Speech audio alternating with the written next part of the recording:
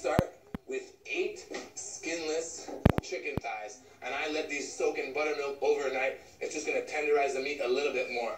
If you're short on time, then pop them right into my food processor, drain off a little bit of the buttermilk. I'm gonna put the juice of one lemon, chop that in half. Don't want any seeds. Perfect. You want the juice of that whole lemon. About a quarter cup of chopped chives. Throw that right in there. One garlic clove, smashed, just like that. Beautiful. About three tablespoons of soy sauce. Gonna add nice salty flavor. A couple dashes of garlic Tabasco.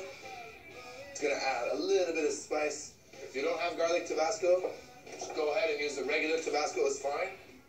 One egg, crack that right in there. Salt and pepper. That soy sauce is already pretty salty. A little pinch.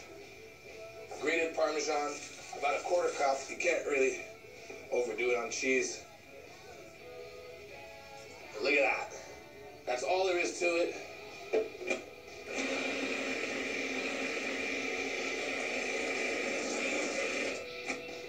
Perfect. Time to make the nuggets.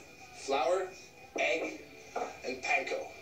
Now, panko are Japanese breadcrumbs, and they're gonna give it that nice crispy golden brown outer crust. Okay, now drop this in the flour, toss it around, shape the nugget. Looks about right. Time for egg.